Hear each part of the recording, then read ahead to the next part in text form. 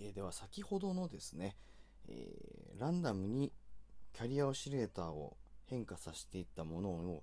えー、どのように使っていくかということなんですが、ちょっと先ほどのですと、まあ、ちょっと使い方が限定されてしまう感じがあったので、えーとですね、それを他の楽器に例えばエフェクトとして使ったらどういう変化になるのかというのをちょっと紹介したいと思います。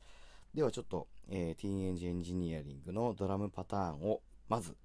えー、無我不に流し込みますね。まずはドライの状態です。で、今バイパスになってるんですが、えーと、この CP251 が、えー、サンプルホールドをかまして、こっちですね。サンプルホールドをかまして、フリケンシーが激しく変わっているものにちょっとかけてます。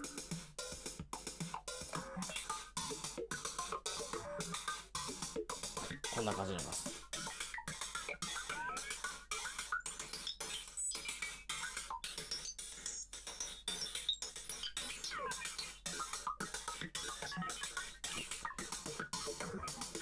いろいろ変化させるともちろん音も面白く変化してきますね。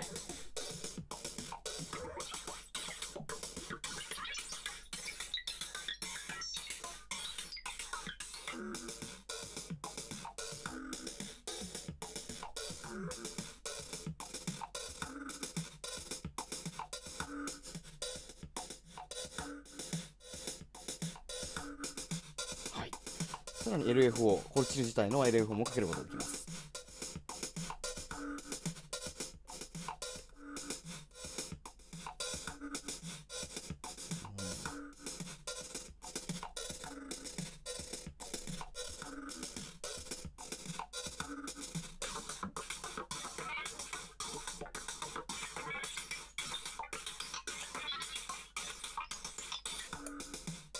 はい、今ドラ以上です。こんな感じで、えー、ドラムパターンにかけても面白いですし、よいしょ、ギターとかに使っても面白いと思います。